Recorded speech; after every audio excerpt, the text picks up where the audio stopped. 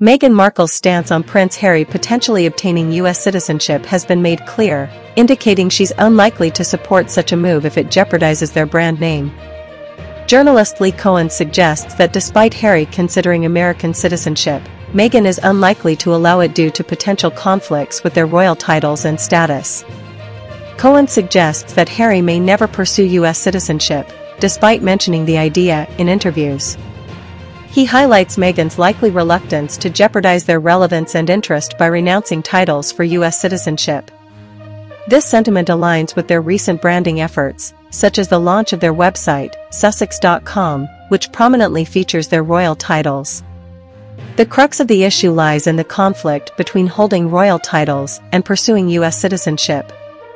Meghan, being a U.S.-born citizen who acquired her royal title through marriage, faced no such conflict. However, for Harry, the situation is different.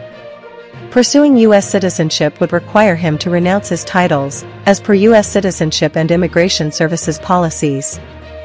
The U.S. Oath of Allegiance specifically mandates renunciation of any titles or positions of nobility in foreign states. This presents a significant hurdle for Harry, as renouncing his titles would undoubtedly impact his and Meghan's status and relevance. Ultimately, the decision regarding Harry's citizenship rests with both him and Meghan.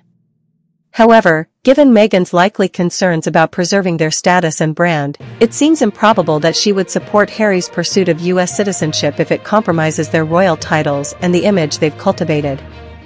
In essence, Meghan Markle's verdict on Prince Harry's potential U.S. citizenship underscores the complexities they face in balancing their royal heritage with their aspirations for a new life in America.